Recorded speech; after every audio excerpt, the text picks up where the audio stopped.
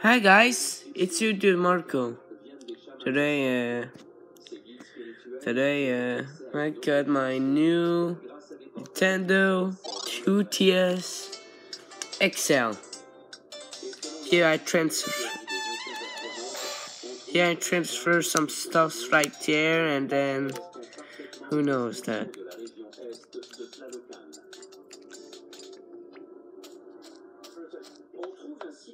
Fascinant près de la côte de la mer des Caraïbes.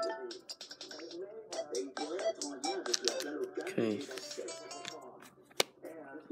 Yeah, that's my new 2DS XL. As you can see, there's some buttons right here. Yeah, that's all.